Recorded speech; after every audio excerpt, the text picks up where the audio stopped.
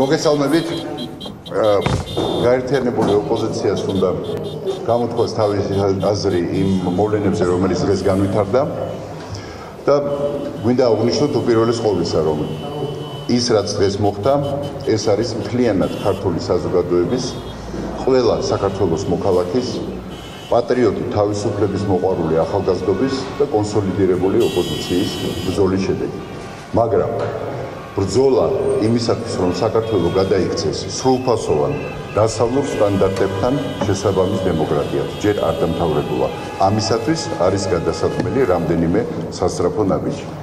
სწორედ ამ ნაბიჯებზე გვინდა ჩვენი მოსაზრება გაუზიაროთ საზოგადოებას. უპირველეს ყოვლისა, თანამდებობიდან უნდა გადადგეს შინაგან საქმეთა მინისტრი, რომელმაც გაბედა და ხელი აღმართა საქართველოს მოქალაქეებზე და ახალგაზრდებზე. რომელმაც თავისივე პრემიერ-მინისტრის განკარგულება დაარღვია და გაფრთხილების გარეშე, როგორც ამას მოითხოვს საქართველოს კანონმდებლობა, გამოიყენა სპეცსაშუალებები თან ისე, რომ ამან იმ წუთასვე შეუქმნა ადამიანების სიცოცხლეს საფრთხე.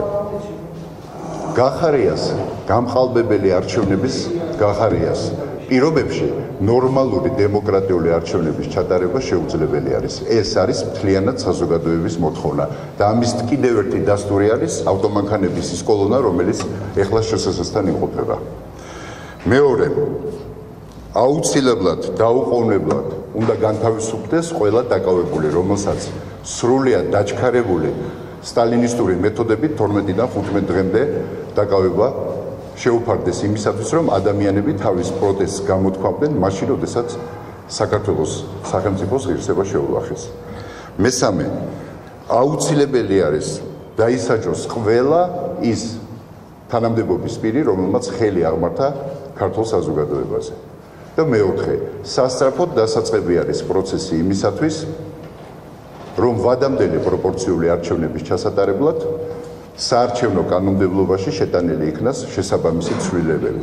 ასეთი პრინციპით დაკომპლექტებული კომისიებით ჩვენ დემოკრატიულ არჩევნებს ვერ ჩავატარებთ, საზოგადოების გახლეჩილობას ვერ აღმოფხრით და ვერ დავამთავრებთ იმ პოლარიზებას, რომელიც საქართველოს არაძლევს საშუალებას ჩამოყალიბდეს ნორმალურ დემოკრატიულ განვითარებულ სამოქალაქო საზოგადოებაზე დაფუძნებულ სახელმწიფოდ. ძალიან დიდი მადლობა.